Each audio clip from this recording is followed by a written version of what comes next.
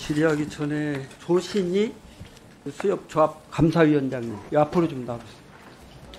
우리 회장님 예. 수협 단위 조합들 여신건전성 문제가 심각하다. 예. 이 관련해서 존경하는 이모선 의원님, 김성교 의원님, 이원택 의원님, 조경택 의원님 여러분들이 지적을 하셨어요. 예.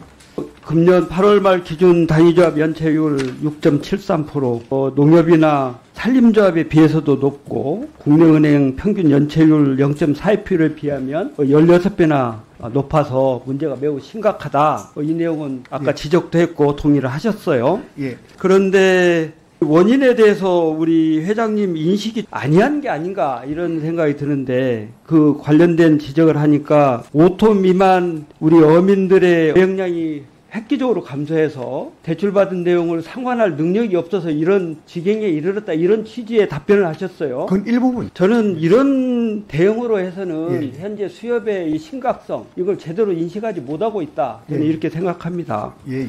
실제 그런 내용이 아니고 실제 단위 조합에서 일종의 외형 성장이랄까 이, 런 걸 내다보면서 무리한 부동산 투자 이런 걸 강행했기 때문이다. 예, 예. 전체 대출 잔액 한 10% 수준이 공동 대출 잔액이고요. 또 그 절반이 부동산 대출이에요. 예. 그러면 현재 부동산업이나 건설업과 관련해서 단위 수협에서 공동 대출을 해준 이런 게 기본적으로 큰 문제다.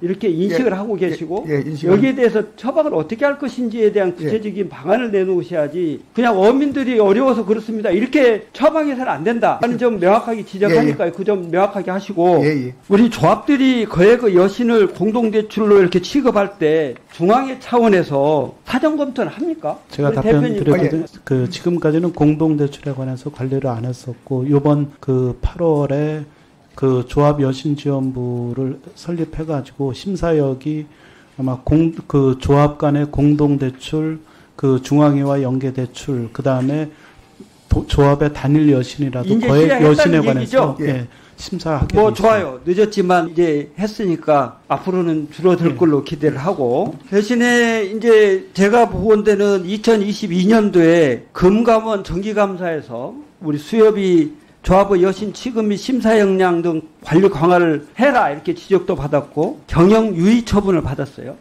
예. 그런데 2년이 지난 지금까지도 여기에 관련된 내용이 전혀 뒷받침되지 않고 오히려 대- 공동대출 잔액은 더 늘고 연체율은 더 심화됐다. 이건 내부적으로 금감원에서 지적했음에도 불구하고 이런 상태가 반복되는 것 이거는 내부적으로 기강회의가 엄청나게 일어져 있다. 이걸 반정한다고 생각합니다. 우리 조감 위원장님, 지금 연체율 상위 10개 단위 조합 포함해서 연체율이 증가한 조합들에 대해서 감사는 다 했나요? 지금 어, 상반기에 8개 상반기 8개 조합에 대해서 감사를 실시를 했고 하반기에도 9개 조합에 대한 감사를 실시할 계획이 있습니다. 근데 지금 감사한다는 내용이 정기 감사입니까? 수시 감사로 실제 문제가 인식돼서 하는 겁니까?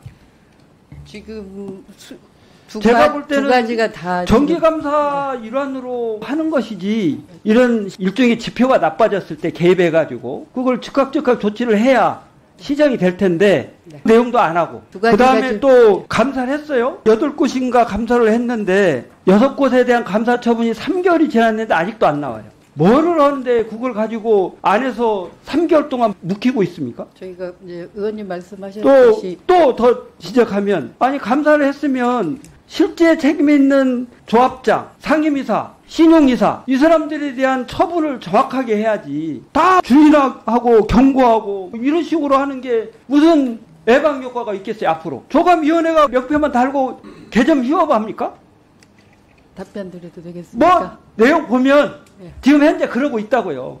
예? 그래서 이거를 진짜 심각하게 느끼고 이 내용과 관련해서 전수조사를 하거나 또는 부시채권 매각 제대로 이행하도록 하고 이행 안 하면 필요하면 조합하고 부실기업 지- 조합 지정해서 테러도 제대로 만들어 내든지 너무 온정적으로 하니까 이런 거 아닙니까? 그 다음에 연체율, 대손 충당 적립률, 채권 매각 상각 이런 내용 제대로 해서 적기 시정 조치라고 하는 것이 그야말로 적기여야 돼. 왜 1년에 한 번 하는 게 적기가 아니에요. 조감 위원장님 네, 아시겠죠? 네 알겠습니다. 그렇게 해주시기 바라고요.